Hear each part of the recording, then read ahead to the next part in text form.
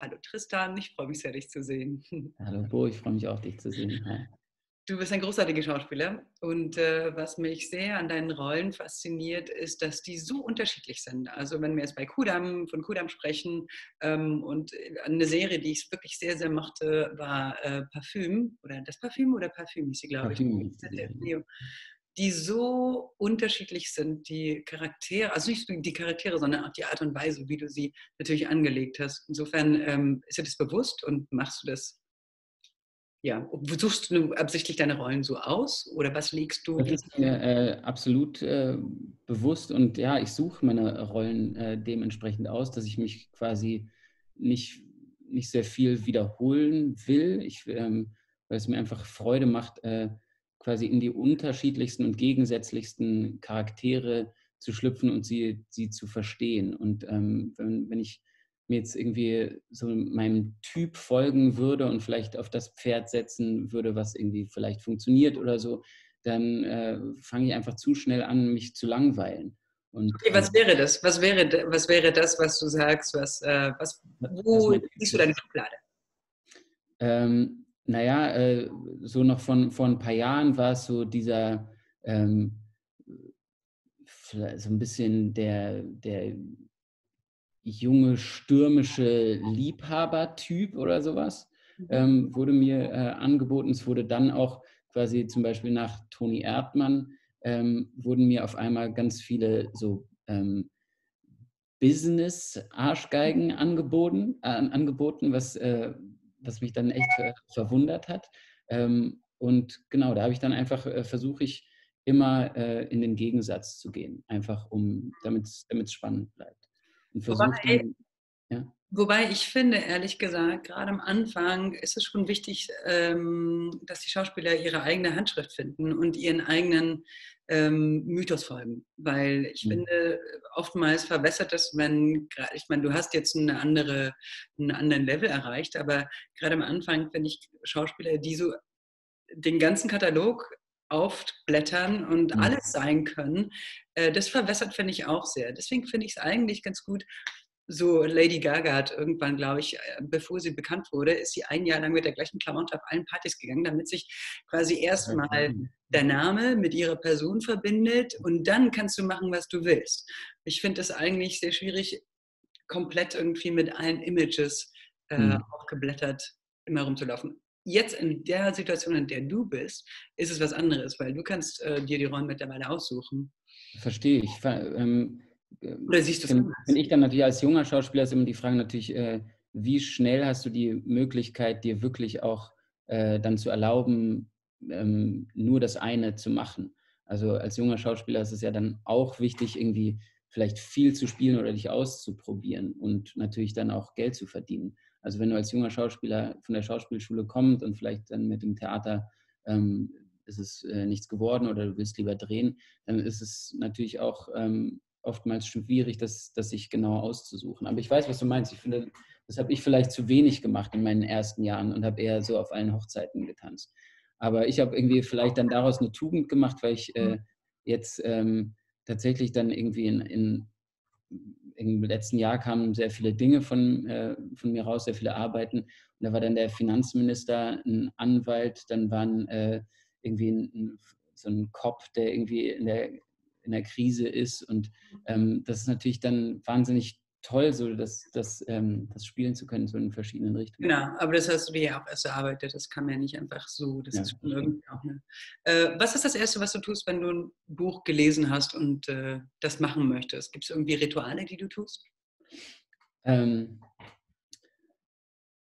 ich tue mich immer sehr schwer mit dem Lesen. Ich, äh, ähm, ich brauche so totale Ruhe, um ein Drehbuch zu lesen. Und ich äh, lebe in einem ziemlich trubeligen äh, Haushalt muss mich dann zurückziehen und dann äh, gehe ich irgendwie äh, in ein Café oder in unser, unser kleines Büro ähm, und brauche echt absolute ähm, Stille. Ich muss mich an den Tisch setzen, ich kann nicht auf dem Bett lesen oder so, muss mich total äh, dem hingeben und fange auch tatsächlich an, das äh, dann, wenn ich mich dafür entschieden habe, es zu machen, es sofort wiederzulesen und wiederzulesen. Also ähm, ich, ich, ich versuche das Drehbuch ähm, immer wieder, immer wieder zu lesen, um ähm, die Impulse, die mir kommen beim Lesen, dann sofort aufzuschreiben und ähm, direkt irgendwie eine, eine, Fantasie zu bekommen äh, vom Innenleben und dann auch von, von der äußerlichen Erscheinung dieser Figur.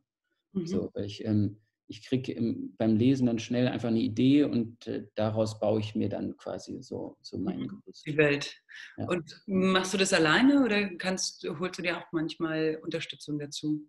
Ähm, ich, ich bin erstmal alleine, ähm, beschäftige mich, versuche mich sehr stark ähm, erstmal selber damit zu äh, beschäftigen und gehe dann mit meinem äh, Rucksack, den ich schon äh, mir äh, erarbeitet habe, dann zu meinem Coach äh, Wolfgang Wimmer, mit dem ich seit, glaube ich, sechs Jahren, fünf, sechs Jahren schon zusammenarbeite. Der hat ähm, habe ich kennengelernt über meine erste Arbeit ich glaube, die erste Kudam-Arbeit war das. Mhm. Ähm, und seitdem arbeite ich immer wieder mit dem. Und das sind dann ähm, Gespräche, sehr intensive Gespräche. Und ähm, mein Coach ist äh, jemand, der, der mir quasi dauernd Türen in meinem Kopf äh, öffnet, die, äh, von denen ich gar nicht wusste, dass sie da sind. Und auf einmal ermöglicht er mir quasi einen Eingang in noch eine tiefere Fantasie und in noch größeres Innenleben der Figur, weil diese ganzen Dinge sind ja in mir, aber äh, es ist dann oft schwer, im, in der Arbeit alleine wirklich ähm, tief an den Charakter ranzukommen. Irgendwann brauchst du einen, einen Partner, der dir ähm, die Bälle zuspielt, der sagt, ja, such doch mal noch nach da oder einfach Fragen stellt. Also dauernd dich über die Figur ausfragt und du musst dauernd deine Figur quasi verteidigen und erklären und somit erklärst du sie dir selber. Super, okay. Also ich schätze Wolfgang auch sehr. Ich bin mit ihm befreundet. Ja. Und insofern, ich finde auch, dass er wirklich eine unglaublich gute Arbeit leistet. Ähm, ja. Ganz konkret vielleicht ein Beispiel, was bringt es dir dann am Set, wenn du so eine Figur eben mit einem Coach erarbeitet hast? Ähm, also erstmal ist es, ähm, fordert Wolfgang von mir extreme Schreibarbeit. Oh, jetzt klingelt es hier gerade. Es kann äh, nur die Post sein, die lasse ich mal Willst du äh, machen? vorbeiziehen. Nee. Dann musst du schneiden, ne? Ja, mach nichts, dann schneide ich es.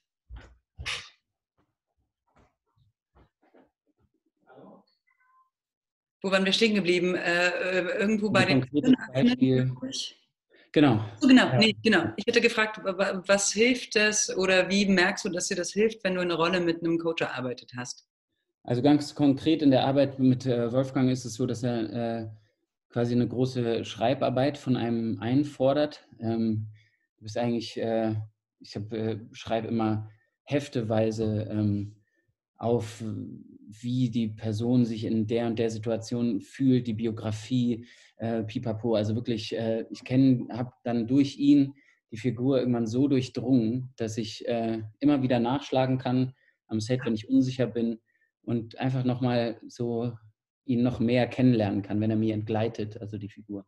Wow, hört sich toll an. Das ist äh, wirklich total super. Und äh, was ich auch toll finde, ist, ähm, dass, äh, dass man zum Beispiel innerhalb einer Szene, ähm, was ich auch unter anderem, weil ich auch mit Susan Batson ähm, mit ihrem Buch arbeite, was die auch äh, macht, ist, dass du dir quasi kleine Triggerpunkte in der, in der Szene suchst, die ähm, zum Beispiel über einen Geruch oder über äh, irgendwie einen kalten äh, Wind, der durchs Zimmer geht, den du dir vorstellst, quasi, der wiederum quasi was für in der Psychologie deiner Figur bedeutet und die man dann sieht. Also du siehst die dann einfach on screen.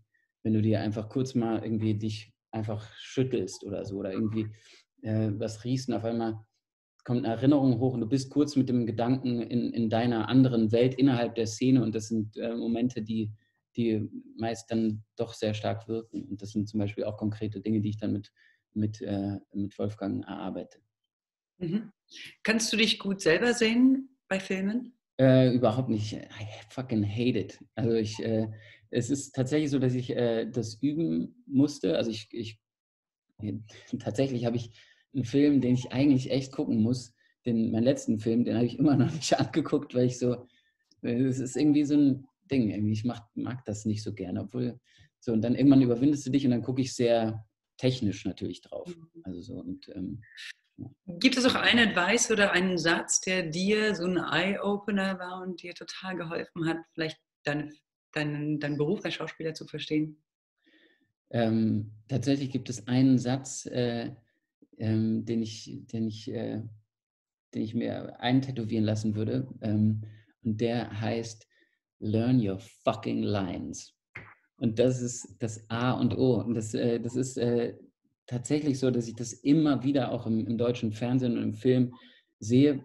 Also in, in, in, englischen und amerikanischen Produktionen echt selten, aber ich glaube, dass sie einfach viel intensiver sich vorbereiten, ist, dass die Leute nicht ihre Lines können. Also nicht wirklich den Text so durchdrungen haben, dass, sie, dass du um 84 geweckt werden kannst und äh, die Szene ist es und dann kannst du sofort dein, deine Lines ähm, ballern. Und ich habe äh, letztens, äh, also vor einem Jahr oder so, habe ich äh, in Köln gedreht und war im, im berühmten Savoy Hotel und quasi auf der anderen Seite ähm, des Hofes war äh, Robert Pattinson in seinem Zimmer und äh, hat parallel gedreht auch in Köln. Und es war wahnsinnig faszinierend, weil ich, äh, ich konnte ihn immer sehen. Er hatte so nur so einen durchsichtigen Vorhang und er lief stundenlang in seinem Zimmer rum, hin und her und hat nur den Text gemacht. Immer wieder, immer wieder, immer wieder. Er hat die ganze Zeit geredet, immer wieder den Text, immer wieder die Gesten. Und da dachte ich mir, ja, genau, so musst du eben arbeiten. Du musst dir einfach deinen Hintern aufreißen für die Figur. Und mhm. das ist, deswegen Learn Your Lines ist, äh, klingt so einfach, aber damit dahinter steht einfach, bereite dich vor, also bis zum Geht nicht mehr. Cool, super. Danke, gutes Schlusswort. Äh, bleib noch kurz dran. Danke dir vielmals für das Gespräch. Ich danke. Tschüss.